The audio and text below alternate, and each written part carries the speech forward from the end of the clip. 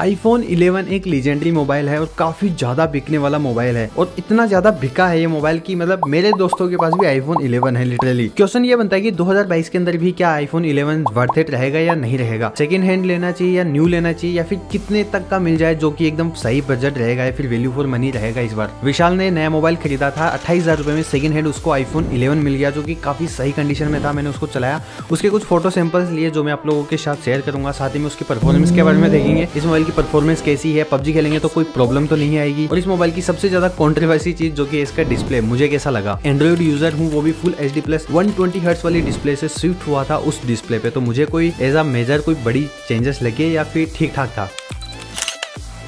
इनका मुकाबला यार अभी तक कोई भी नहीं कर सकता। पता नहीं एप्पल कौन से काले जादू करता है इस मोबाइल के ऊपर बट भाई लिटरली सबसे ज़्यादा बेस्ट फ़ोटो देखने को मिलती है। मैं तो सोच रहा था डीएसएलआर को छोड़ देते हैं और आईफोन 11 ले लेता हूँ ताकि उसी में वीडियो रिकॉर्ड करूँगा। यार, इतनी ज़्यादा शानदार वीडियो रिकॉर्डिंग होती है उसके अंदर और फ्रंट कैमरा भी बहुत तगड़ा होता है। मैं कुछ सैंपल्स आप लोगों के साथ शेयर करता हूँ। वैसे मैं बता दू आईफोन इलेवन के अंदर बैक के अंदर जो दो कैमरा सेटअप देखने को मिलता है, वो दोनों ही बारह बारह मेगा का देखने को मिलता है। मेन कैमरा आपको बारह मेगा का देखने को मिलता है और जो अल्ट्रा वाइड कैमरा आता है, वो बारह मेगा का ही देखने को मिलता है। ये कुछ फ़ोटोज़ हमने नॉर्मल डे लाइट के अंदर ली हुई है। उसी टाइम पे हमारे पास Samsung Galaxy S ten plus भी हमारे पास था तो मैंने कंपेरिजन के लिए दोनों से एक ही फ़ोटो क्लिक करके देखी। ये वाली फ़ोटो आईफोन 11 से ली हुई है और ये photo Samsung Galaxy S ten plus से ली हुई है। कलर वलर किस तरह से मैनेज करता है और सही बताऊँ तो काफ़ी ज़्यादा रियलिस्टिक कलर्स ये लेता है। नाइट मोड के मामले में मैं कहूँगा इसके अंदर ओके ओके ये ज़्यादा मतलब एक्सपेक्ट तो मत करना बट ठीक ठाक ओके ओके देखने को मिल जाता है। बैकग्राउंड में ब्लर भाई बहुत ही तगड़ा करता है क्लोजअप मतलब क्लोज में लेके फिर अगर फ़ोटो क्लिक करो तो एक नेक्स्ट लेवल आती है, ऐसा लगता है डीएसएलआर से ली हुई है। तो बैकग्राउंड के अंदर जो ब्लड देखने को मिलता है, वो बहुत तगड़ा देखने को मिलता है। और भाई वीडियो रिकॉर्डिंग यार मेरे पास है नहीं बट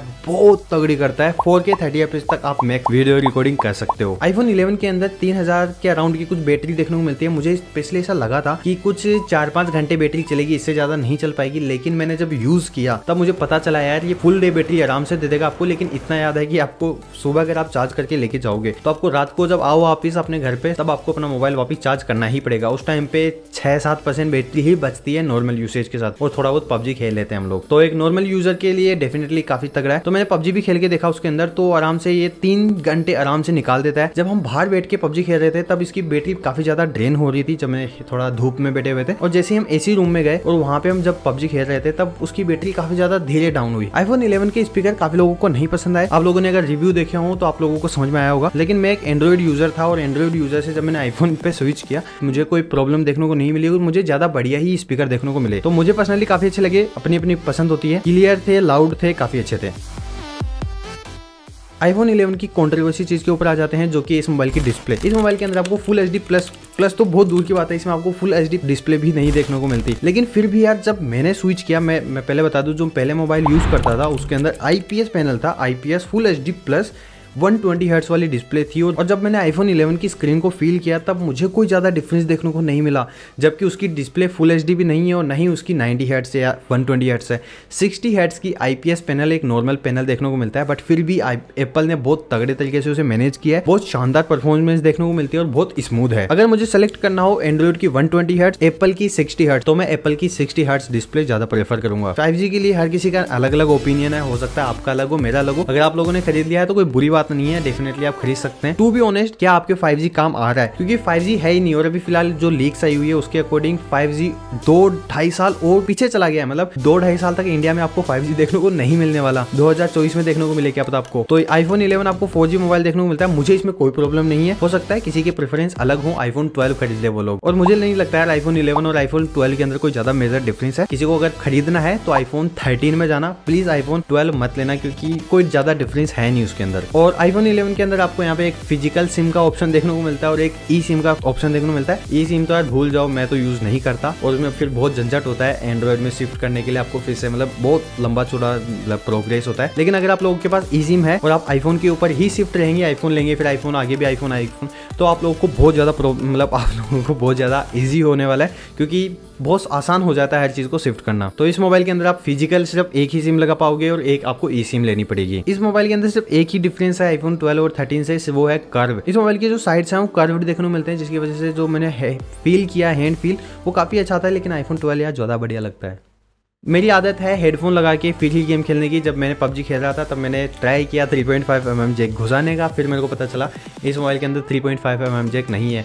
आपको थोड़े से कन्वर्टर वनवर्टर का झंझट लेना पड़ेगा। और इस मोबाइल की सबसे ज़्यादा बड़ी चीज़ जो नोटिस करने को मिलती है, वो बड़ी बड़ी बेजल्स लिटरली मतलब एक फ्लेक्सिब मोबाइल के अंदर इतनी ज़्यादा बड़ी बेजल्स आपको बहुत ज़्यादा बेकार लगेगी स्टार्टिंग की एक दो दिन तक, उसके बाद आपको आदत हो जाएगी। पर्सनल फील बताऊँ तो जब पीछे से देखते हैं आईफोन इलेवन को, तब लोगो दिखता है, मस्त कैमरे दिखते हैं तो ऐसे अमीरों वाली फील आती है। और जैसे ही फ्रंट पे कर लेते हैं, तब उसके बड़े बड़े बेजल्स दिखाई देते हैं तो खून चल जाता है भाई। बट वो एक दो दिन में आपको ना आदत पड़ जाती है, क्योंकि बहुत शानदार मोबाइल है वो। अगर आप लोग सेकंड हैंड मोबाइल देख रहे हो तो आप लोगों को बहुत ध्यान से मोबाइल लेना पड़ेगा, क्योंकि आईफोन के अंदर सेकंड हैंड मोबाइल के अंदर बहुत ज़्यादा गफले होते हैं मतलब आपको लूट सकते हैं, आपको चूना लगा सकते हैं और चूना नॉट अलाउड उसके अंदर जो बैटरी है वो 92 मिनिमम हो, वरना अगर 100% उसकी बैटरी है तो गारंटेड उसकी, उसने उसकी बैटरी रिप्लेस करवाई है, और वो सस्ती होगी फिर. मैक्सिमम ट्राई करना कि छः सात महीने चला हुआ हो, इससे ज़्यादा चला हुआ ना हो, वैसे ज़्यादा पुराना हो तो भी कोई ज़्यादा दिक्कत नहीं है बट उसकी वारंटी वारंटी थोड़ा ज़्यादा खराब हो जाता है तो उसकी प्राइस आपको उसी के अकॉर्डिंग कम करवानी पड़ेगी कि वो कितना पुराना है। फेस लॉक वर्क कर रहा है, नहीं कर रहा, क्योंकि एप्पल के अंदर सिक्योरिटी के नाम पे सिर्फ़ फेस लॉक क्या आता है। अगर वो हट गया तो दिक्कत होगी। हो सकता है उसने आईफोन की डिस्प्ले चेंज करवाई हो।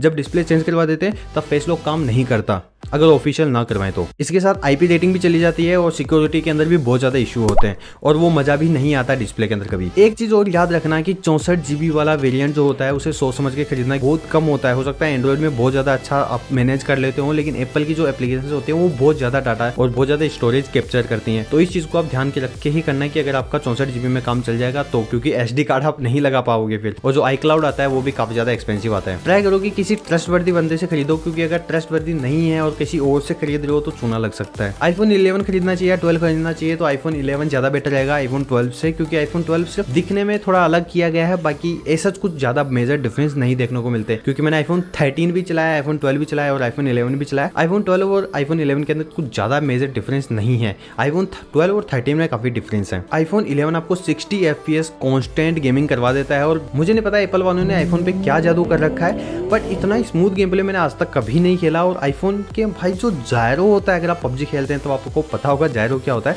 भाई इतना स्मूथ जायरो मैंने लाइफ में कभी नहीं देखा मतलब बहुत नेक्स्ट लेवल का ज़ाहिर होता है यार उनका। अगर आप एक बजट एंड्रॉइड मोबाइल या फिर आईफोन के पहले वाले मोबाइल से डायरेक्ट आईफोन 11 के ऊपर शिफ्ट करोगे तो आप लोगों को काफ़ी ज़्यादा डिफरेंस देखने को मिलेगा। आईफोन की बिल्ड काफ़ी तगड़ी थी, मुझे पर्सनली काफ़ी अच्छी लगती है आईफोन की बिल्ड क्योंकि एल्यूमिनियम होता है और एल्यूमिनियम एक नेक्स्ट लेवल की फील देता है। पहली अगर आप गेमिंग करते हो, तब आप लोगों को आईफोन के अंदर आपको हीटिंग इश्यू देखने को मिलेगा। मतलब एक तरह से गिफ्ट में आएँगे और जब जब आईफोन इलेवन हीट होगा, तब तब वो आपकी जो डिस्प्ले की ब्राइटनेस होती है, वो डाउन कर देगा। आपको बाहर दिखना बंद हो जाएगा। इसी के साथ एक प्लस पॉइंट भी है कि आपकी परफॉर्मेंस में एक परसेंट भी डाउनग्रेड नहीं होता। मुझे नहीं पता क्यों, जितना आपका मोबाइल हीट होता चला जाता है, कोई फ़र्क नहीं पड़ता। आपकी परफॉर्मेंस उतनी रहती है जितनी स्टार्टिंग में थी। तो हाँ ये कहीं ना कहीं प्लस पॉइंट है। अगर आप लोग ये वाला वीडियो लास्ट तक देख हो तो ये जो नंबर है, ये आप मुझे कमेंट सेक्शन में बता सकते हो, ताकि मुझे एटलीस्ट इतना तो पता चले यार कितने लोग हैं जो मुझे लास्ट तक देखते हैं। तो वैसे यार वीडियो काफ़ी ज़्यादा लंबा बन चुका है। आई होप आप लोगों को वीडियो पसंद आया होगा। हम मिलते हैं आपसे अगले वाले वीडियो में। तब तक के लिए जय हिंद, वंदे मातरम और लव यू ऑल